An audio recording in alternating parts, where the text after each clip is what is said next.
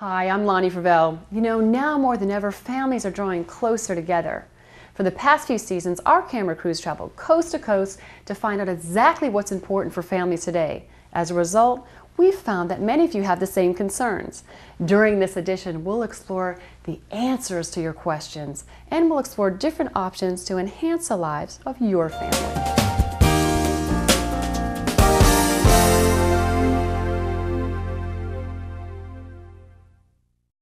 As families strive to live healthier lives, they're adding more fruit to their diets.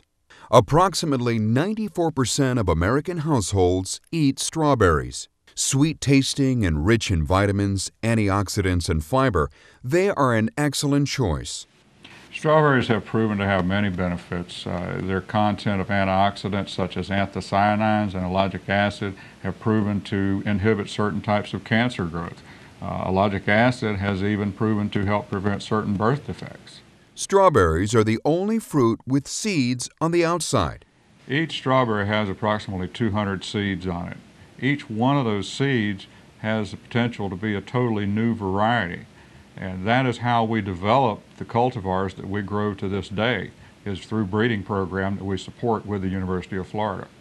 The association's partnership with the IFAS University of Florida has resulted in the discovery of the new Florida varieties that we enjoy today. Ranking second in fresh strawberry production, the state of Florida is a major player in the production of strawberries. So much so that over 144 million pounds of strawberries are produced in the Sunshine State each year. Over a century ago, Plant City, Florida was named the winter strawberry capital of the world. It is the location of several annual promotional events sponsored by the Florida Strawberry Growers Association, a nonprofit cooperative that operates as a trade association. The purpose of FSGA is to be the unified voice of the Florida strawberry industry. We represent all of our growers in the industry in a statewide and nationwide campaign to do whatever we can to make our industry more profitable. We provide membership and serve on committees uh, at the state and national level. And all of these things help to promote our Florida strawberry industry and make it more profitable for our growers.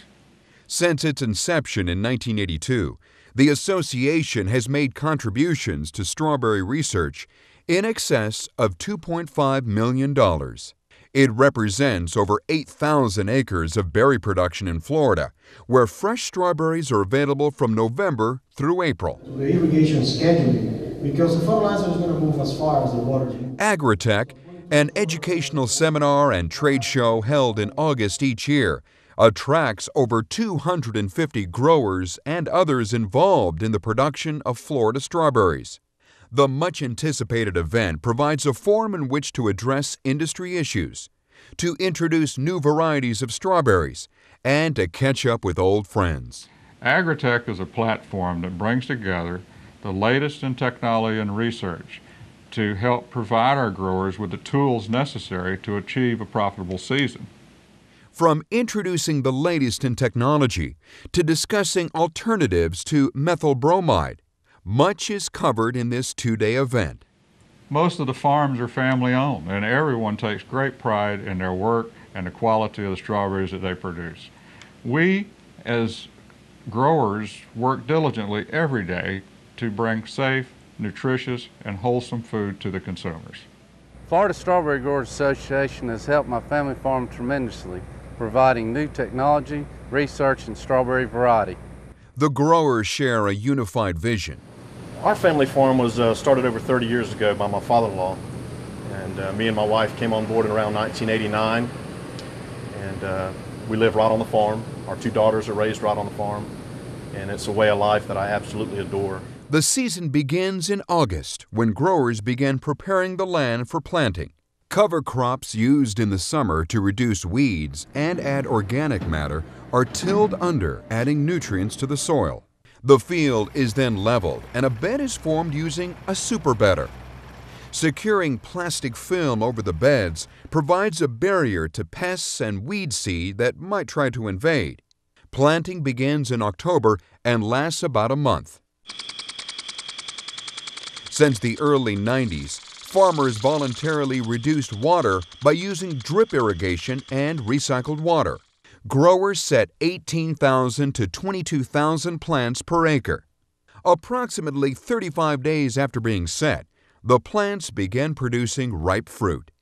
By late December, production is well underway and can last as late as mid April.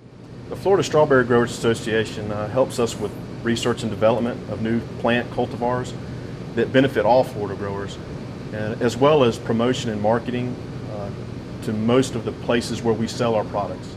To learn more about strawberries from Florida and the Florida Strawberry Growers Association, please log on to www.flastrawberry.com.